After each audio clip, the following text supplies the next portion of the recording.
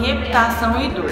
Ela está chegando em Jaraguá agora, né, para trazer para a população de Jaraguá uma, um novo conceito em reabilitação, é, tratamento para dor. É, aqui a gente vai ter vários profissionais, é, incluindo, além da fisioterapia, a gente vai estar tendo também o nutricionista, o psicólogo, o fonoaudiólogo, que era uma grande ausência que a gente tinha aqui na cidade, e também o método Pilates, que hoje a gente sabe que é um dos exercícios mais benéficos no tratamento de coluna. Então, assim, o nosso enfoque, o objetivo maior da, da REAB é trazer qualidade de vida para a população de Jaraguá, atuando também na prevenção, não só na reabilitação e na promoção da saúde.